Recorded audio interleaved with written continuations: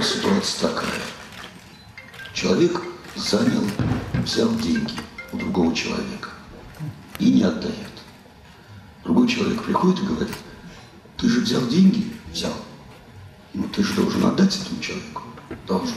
Ну отдай. Вот этот человек, который приходит и говорит, ты же взял, отдай, он положительный или отрицательный? Он что делает? Он, наверное, как-то призывает, говорит, давайте по правилам жить. Или, или что происходит? А, Спасибо Просто за это, вопрос. такая, это такой э, риторический вопрос. вопрос. Те, кто нам напоминают о том, что надо жить по правилам, они хорошие или они плохие?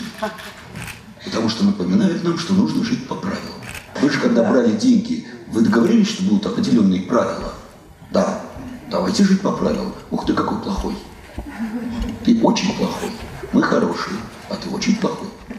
Ты заставляешь нас отвечает за свои поступки. Какой ты плохой человек.